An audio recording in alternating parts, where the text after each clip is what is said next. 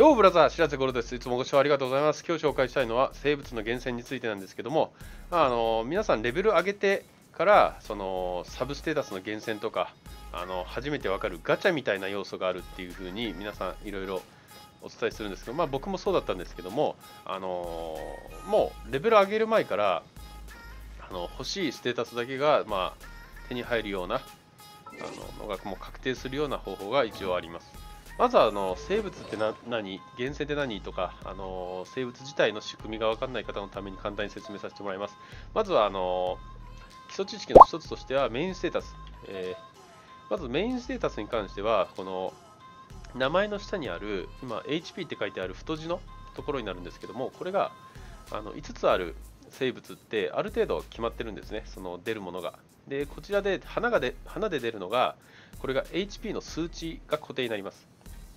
で次に羽。こちらの羽の方は攻撃力の数値の方ですね。パーセント数値じゃなくて普通の数値の方が固定となっております。で、ここからなんですけども、ランダム要素が結構多くなってきます。えー、砂時計に関しては攻撃力の、まあ、今パーセンテージが書いてあると思うんですけども防御力パーセントだったりあの防御力数値だったりあの元素熟知あるいは元素チャージ効率だったりあのいろんな要素が加わってきます。で、ここの固有に関して言えば、元素チャージ効率が固有ステータスとなってますね。で、こちら、えー、っと、聖杯の部分。聖杯の部分は、元素ダメージバフの、まあ、あのー、まあ、数種類ある元素ダメージ、プラス、物理ダメージバフ、プラス、えー、っと、治療、あ、これの場合はこの2つですね。この2つが基本的なあの、まあ、固有ステータスになっています。残りはあの同じですね、えー、攻撃力だったり防御力だったりそこら辺のあの、まあ、ステータスのやつになりますね。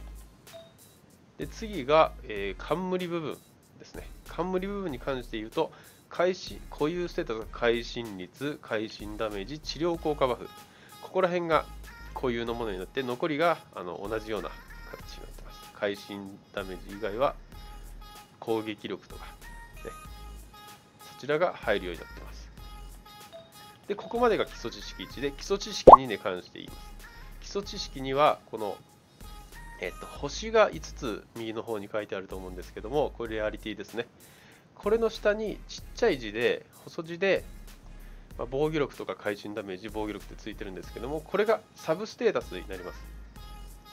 でこのサブステータスはもうドロップ品すべてあのランダムで出てきます、はい、ご覧の通りこれランダムで出てますね。ただランダムの中でも数値が高いものと低いものがあるってことだけあのご理解いただければと思います。でここの基礎知識2の方であの必要なのがこのサブステータスに関して言うとメインステータスと重複することがないですね。例えばメインステータスが HP なのであれば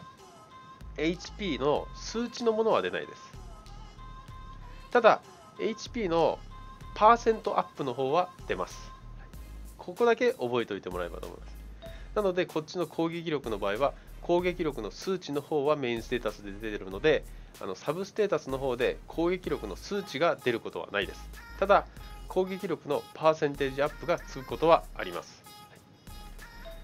なので、他のところも全部同じですね。ただあのこちらの聖杯の部分の固有の元素チャージ効率がもしメインで載ってたとしたら元素チャージ効率はサブステータスではつきませんというような形になります。なのでこちらの会心率とかも同じようになりますんでご注意いただければと思います。はい。で、えー、これまでが基礎知識になります、はい、で、えー、っと次は厳選の方法の、まああの基本的な厳選の仕方になります。基本的な厳選としては、例えば攻撃主体のキャラクターを使っている場合、例えばレザーであったり、ディルックだったり、まあ、あんまり元素反応とか使わないで、あの1人でやりますみたいなあのキャラクターとかでゴリゴリ押していったりとか、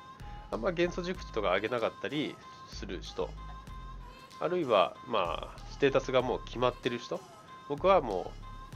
あのディフェンス、防御力ばっかり上げるんだとか、僕は HP ばっかり上げたいんだっていう人の場合は、ここの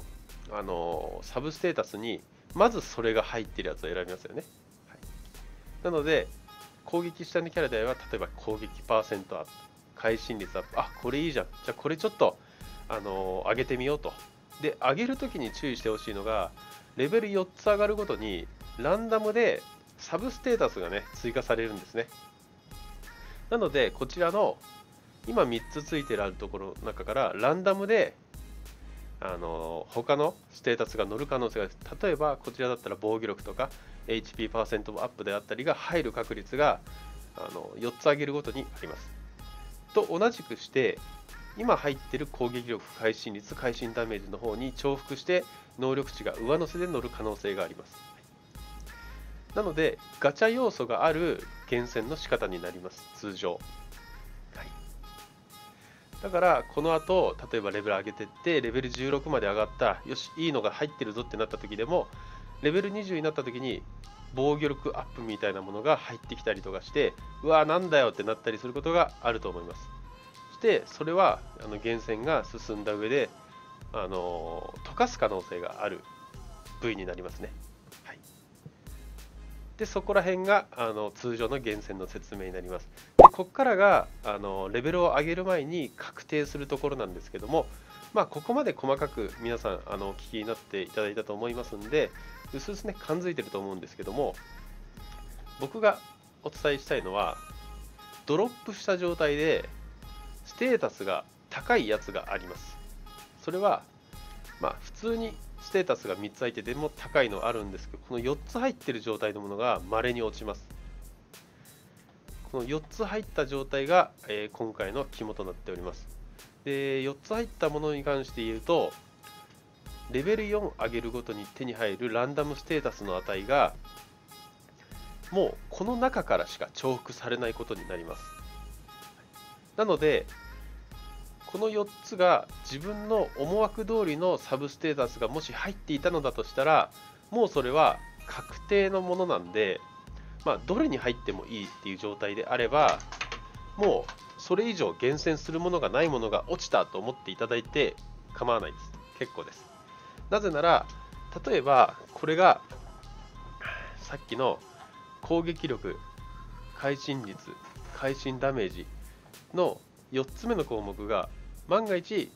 攻撃力数字アップであればまあ僕の使ってる物理レザーであればもうそれがベストなんですね。なのでそれが出た時点でもうどのステータスに振られてもプラスでしかないというような内容になります。なのでその時点でまあもちろんガチャで本当は会心率を多めに欲しいんだけどって思ったとしても結局その中で振り分けられる数字なんでもうその時点で厳選終了って思っていただいてもいいぐらいのものになります。なので、ここら辺の見極めがついた方が、あの無駄にあのお金、モラであったり、この溶かす素材であったりを消費しないで済む可能性があります。で、この厳選の仕方に関して言うと、右の3つに関しては、メインステータスが自分の好きなものが来た上で、4つサブステータスが好きなものが入ってなきゃダメっていうかなり鬼畜な条件になってきてしまいますので右の3つに関してはその方法は非常に難しいと。ただ可能性としてはあります。なので右の3つに関して言うとまあしょうがないんで、まあ、育ててみるしかないのかなっていうところはあるんですけども左の2つに関して言えばもう上が固定になってますんで、出たものすべてがチョイス対象になります。そこだけご承知おきください。ただ、右の3つどうやって厳選したらいいのっていう話になってきたときに、一応方法はあります。方法としては、例えば、攻撃力が、まあ、例えばね、あのこれがマストだとします。はいまあ、メイン僕は攻撃力探してました。防御力 OK。ね。で、HP、あ、これも欲しかった。HP パーセント入ってる。あ、OK じゃん。これ OK だ。あと一つ何が来たらいいのかなみたいな。なんか嫌なの来てほしくないなって思ったとして、何がね、あのー、来るかっていうのを確かめる方法がいくつかあって、レベル4まで上げてみるっていう方法があります。レベル4まで上げてみて、万が一ね、あのー、まあ、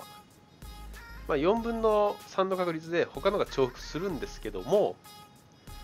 まあ、4つ目のステータスが確定する可能性があるんで、とりあえずここがあもう完璧だな。ここ完璧だっていうふうに思ったらレベル4上げてみてください。とりあえず。そうしたら万が一完璧なものになる可能性があります、はい、だ同じことが言えるのは花の方でも OK なんですけども基本的には4つともステータスが入ってた方がステータス値総合力が高いってことなんでできれば4つなんですけどもまあ時点として3箇所いいのが入ってればレベル4上げてみてっていう提案をしてみたいと思います、はい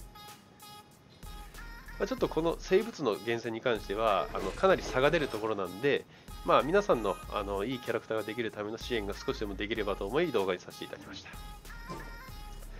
はい、ということで今日もあのご視聴どうも長い間ありがとうございます。えー、今日の動画はこれで以上です。えー、ぜひぜひあのチャンネル登録とね、高評価の方でまた支援していただければ、こういったお役立ち情報、またあの動画上げる意欲になりますので、ぜひぜひお願いいたします。はい、では、えー、原神ライフ、えこれからもゆっくりとお楽しみください。ではまたお会いしましょう。グッバイ、ブラザー。